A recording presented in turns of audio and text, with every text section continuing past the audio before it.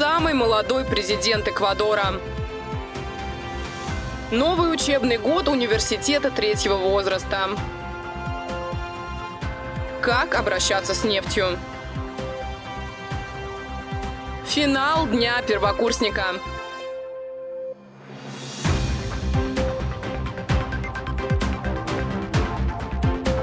Всем привет! В эфире «Univer News», а в студии Валерия Карташова. В Высшей школе государственного и муниципального управления Казанского федерального университета приступила к обучению по программе «Современные подходы к управлению сельскими поселениями» пятая группа глав сельских поселений муниципальных районов Республики Татарстан. В открытии мероприятия приняли участие заместитель премьер-министра Республики Татарстан, руководитель аппарата Кабинета министров РТ Шамиль Гафаров, руководитель Департамента государственной службы и кадров при Раисе Республики Татарстан Александр Белов, заместитель начальника управления Раисы Республики Татарстан по работе с территориями Ильдар Ибрагимов, председатель Ассоциации Совет муниципальных образований РТ Экзам Губайдулин, директор Высшей школы государственного и муниципального управления КФУ Игорь Привалов и первый проректор, проректор по научной деятельности КФУ Дмитрий Таюрский. Вообще говоря, принятие решений в условиях сильной неопределенности – это есть одна из основных задач человеческого я говорю так, натурального интеллекта. Понимаете, вот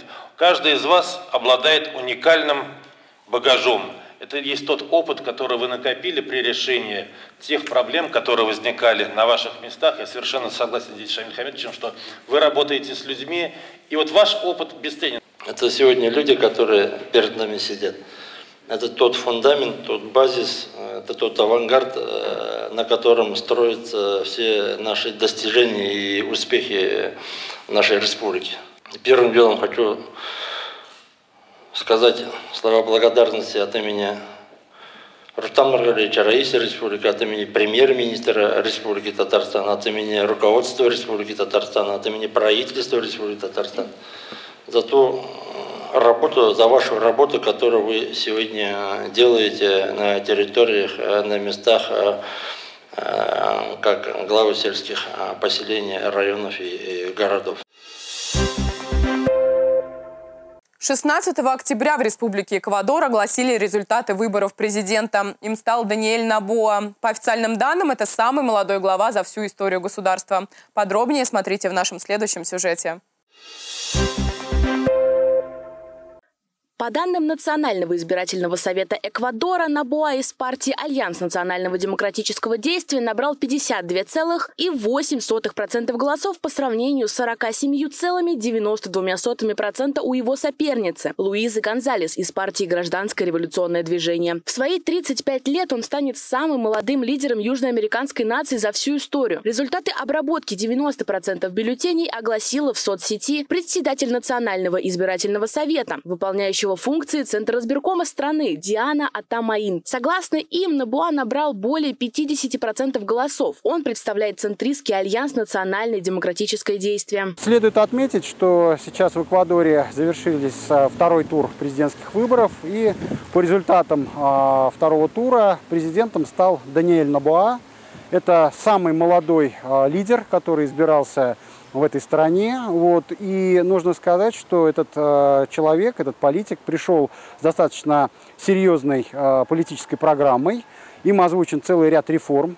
Ну, вообще следует отметить, что ситуация в Эквадоре достаточно сложная с точки зрения социальной, политической обстановке. Даниэль Набуа станет самым молодым президентом в истории Эквадора. Он родился 30 ноября 1987 года в семье одного из богатейших эквадорских предпринимателей. До политической карьеры работал в экспортном бизнесе, основанном его отцом. Выборы в Эквадоре состоялись на фоне громких расправ с политиками. Сразу два происшествия стали только катализатором скорых выборов нового главы государства. Предыдущий президент Гильермо Ласса был избран на второй срок в 2021 году, но в мае подал в отставку, чтобы избежать импичмента на основании конституционного положения, которое также распустило Конгресс. Набуа, которому теперь предстоит завершить оставшиеся 15 месяцев второго президентского срока Ласса, был членом Национальной ассамблеи, пока она не была распущена. И вот то, что Даниэль Набуа сегодня ну, как бы пытается говорить о реформах и намерен их делать, это, конечно, делает ему честь, потому что в условиях, когда э, в стране есть проблемы социальные, есть проблемы, связанные с криминалом, вот такие заявления, они, конечно, ставят его под определенный риск, И это свидетельствует о том, что этот человек достаточно смелый, и, возможно, а, его реформы ну, как бы смогут улучшить жизнь а, жителей Эквадора. По данным избирательного совета, более 10 миллионов человек в стране с населением менее 18 миллионов проголосовали на выборах, что составляет 82,33% от числа принявших участие в голосовании. Высокая явка избирателей произошла несмотря на опасения по поводу безопасности, череду расправ над политическими деятелями. О том, как будет проявлять себя самый молодой в истории республики президент, пока не ясно. Но стоит отметить, что доверие населения к нему держится на высоком уровне. Елизавета Газизянова, Фарид Захитоглы, UNIVERNEWS. В Казанском федеральном университете на базе Института геологии и нефтегазовых технологий стартовала научная школа, где молодые ученые обсудили вопросы по добыче и облагораживанию нефти. Подробнее в сюжете. 16 октября в Институте геологии и нефтегазовых технологий Казанского федерального университета стартовала научная школа молодых ученых «Каталитическое облагораживание тяжелой нефти-3». Тема выбрана не случайно, ведь она актуальна как никогда. Обработка нефти до недавних пор занимала большое количество времени, но с технологическим прогрессом процесс упростился. И теперь благодаря новейшим разработкам ученых человеческий фактор перестает быть причиной ошибок на производстве. Например, на конференции со своим докладом выступила группа молодых геологов, которые разработали уникальное приложение. С помощью него процесс очистки нефти от загрязнений будет проходить гораздо быстрее и качественнее. Всего существует три вида облагораживания и очистки нефти – химический, механический и физико-химический. А добавление искусственного интеллекта в эту процедуру умножает перспективу в этой сфере. Мы выступаем с докладом, касающийся а, автоматической разработки а, масс-спектров и их интерпретация, то есть то, что должны были делать люди, специалисты своей предметной области, теперь делает а, и прикладной искусственный интеллект.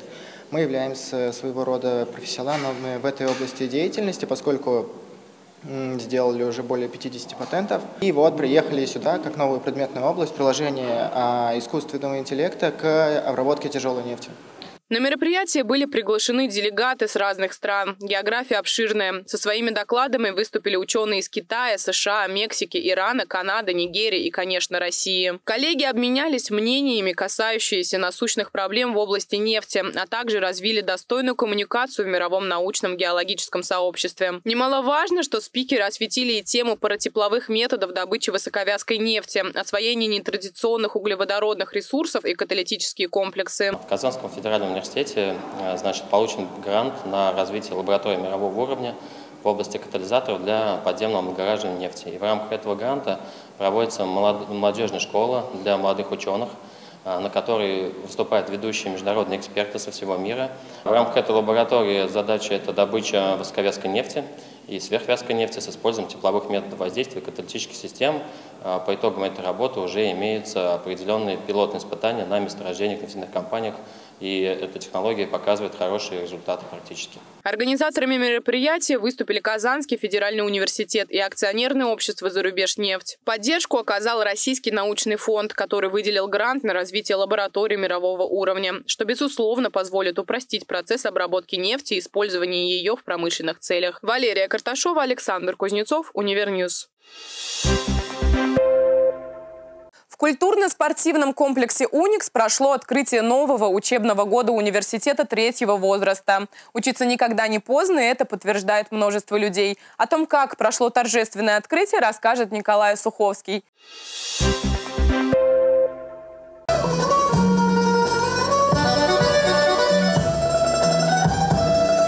16 октября в культурно-спортивном комплексе «Уникс» прошло торжественное открытие нового учебного года для студентов третьего возраста. Каждый, кто хочет научиться чему-то новому, может получить знания в нескольких областях. Программа уникальна. Важную роль играет моральная поддержка людей, достигших пенсионного возраста, снижение риска социальной изоляции пожилых людей в обществе и достижение взаимопонимания между поколениями. С торжественной приветственной речью выступила председатель правления регионального отделения общероссийской общественной организации «Союз пенсионеров России» Любовь Мишина. Вы большие молодцы, что имеете стремление и интерес к получению новых знаний, повышению образовательного уровня. Многочисленные исследования показывают, что образованные люди живут дольше, качество жизни у них выше, и живут они дольше – программе представлены несколько профилей подготовки. Гуманитарные науки, философия, история России и Казани, а также основы финансовой грамотности. есть направление обучения и по техническим специальностям. Немаловажным является тот факт, что на занятиях людей старшего поколения учат развивать в себе способность ориентироваться в новых условиях в 21 веке. На данный момент в Республике Татарстан обучается около двух тысяч пенсионеров. Это один из самых высоких показателей по всей стране. Такая акция, наверное, она затрагивает души людей, когда в зале видишь э, ну, достаточно зрелых да, людей, и они все с восхищением смотрят и ждут каких-то новых познаний. И это вот так бывает на каждом занятии университет третьего возраста. В Республике Татарстан особое внимание уделяют вопросу качественного взаимодействия с людьми, достигших пенсионного возраста. Проект отделения Пенсионного фонда Российской Федерации по Республике Татарстан и регионального отделения «Союз пенсионеров» существует уже 16 лет, и за все его время увеличилось не только количество слушателей, но и постоянно расширяется круг образовательных направлений. Карина Саяхова, Николай Суховский, Фарид Захитоглы, UNIVERNEWS. Состоялся финал масштабного фестиваля «День первокурсника». О том, как прошло закрытие в Набережно-Челнинском и Елабужском институтах Казанского федерального университета, смотрите в следующем сюжете.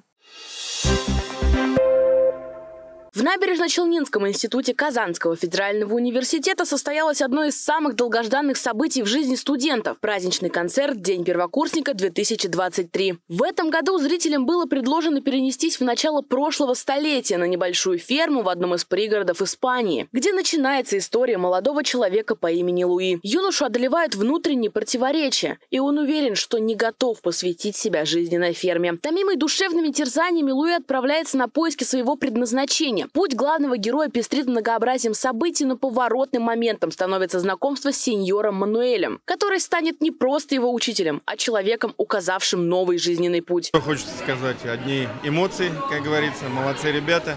Несмотря на то, что всего чуть больше месяца они вместе, я так понимаю, э, это все первокурсники на таком уровне смогли сорганизоваться, смогли все это э, преподнести я думаю, зал остался в восторге.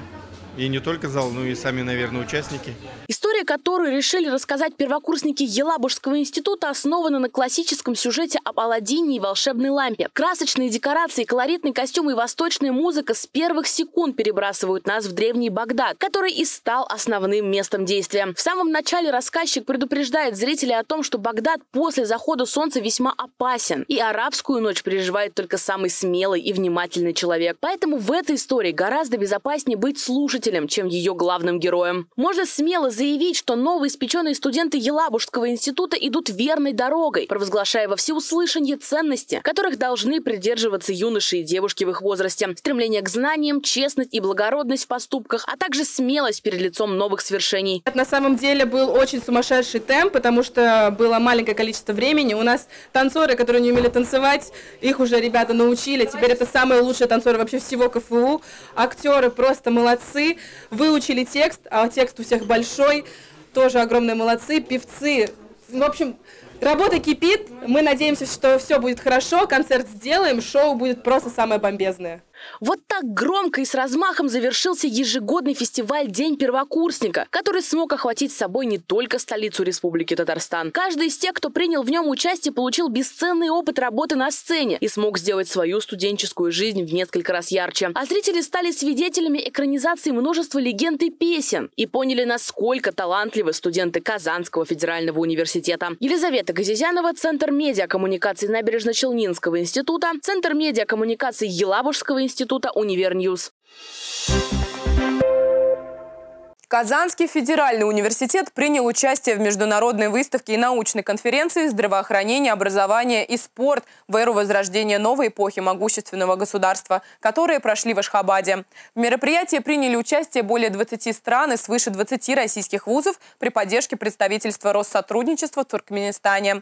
Казанский федеральный университет на выставке был представлен заведующим Центром сопровождения научной и международной деятельности Института филологии и межкультурной коммуникации Артемом Друговым и ведущим специалистом отдела привлечения и набора иностранных обучающихся Департамента внешних связей Ольгой Баклановой. На этом все. В студии была Валерия Карташова. Сюжеты из выпуска ты сможешь найти в наших социальных сетях, а также на сайте телеканала. До новых встреч!